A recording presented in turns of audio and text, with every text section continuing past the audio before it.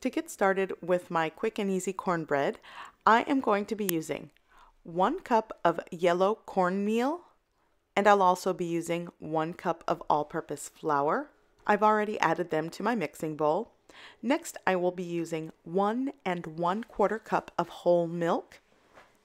I'll also be using three tablespoons of melted unsalted butter, one room temperature large egg, one and a half teaspoons of salt, two teaspoons of baking powder, and I'll also be using a third cup of sugar. Now, the sugar and salt content in this recipe you can adjust to your preference if you want it less salty or if you want it sweeter. Be sure to check the description below this video for all the ingredients and measurements used in this recipe. Okay, so now I am going to combine all of my dry ingredients and give it a good mix.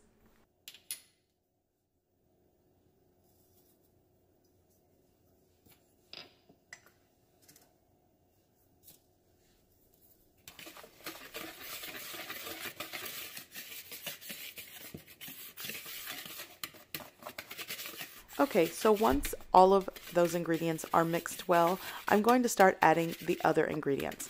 Now, I know when making things like cake batter, it's suggested to cream together all the wet ingredients, but I find when I'm making cornbread, it's not necessary, but definitely do what works for you. I also want to mention that you could also add a little bit of brown sugar and combine it with the, the regular white sugar, and you can sub the melted butter for oil if you like, and also for the whole milk, you can substitute it with buttermilk. I like doing that when I have buttermilk on hand, but today I'm just using whole milk.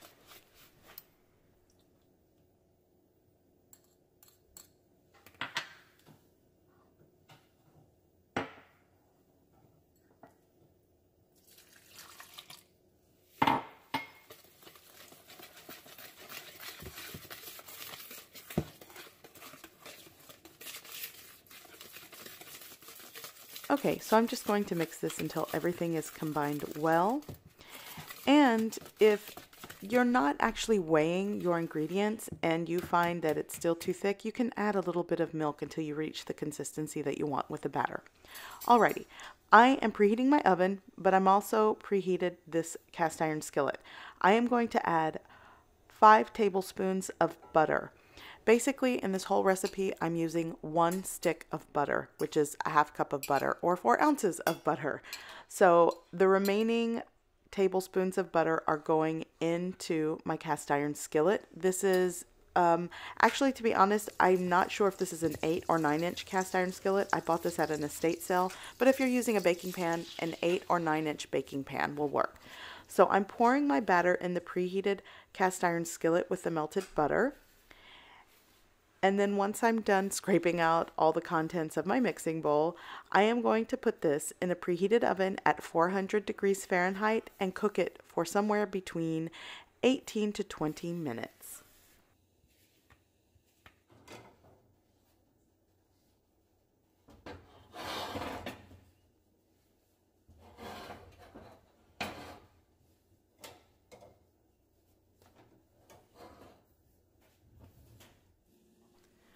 Okay, and it has been 18 minutes, so I'm going to remove my cornbread and it smells so good. So I wanted to show you how golden and crispy these edges get when making this in a cast iron skillet with that butter. It is so delicious. If you get the opportunity or have a cast iron skillet this size, I definitely suggest you try it this way. So I'm serving this alongside red beans and rice today. Be on the lookout for that recipe. I'll link it below this video.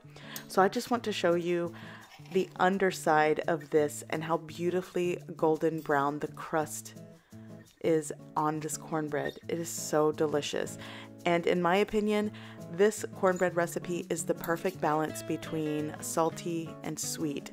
It's not overly sweet, it's not overly salty, and it goes great with a cup of coffee or served with a savory entree. So I hope you give this recipe a try. I hope you like it, and thanks for watching!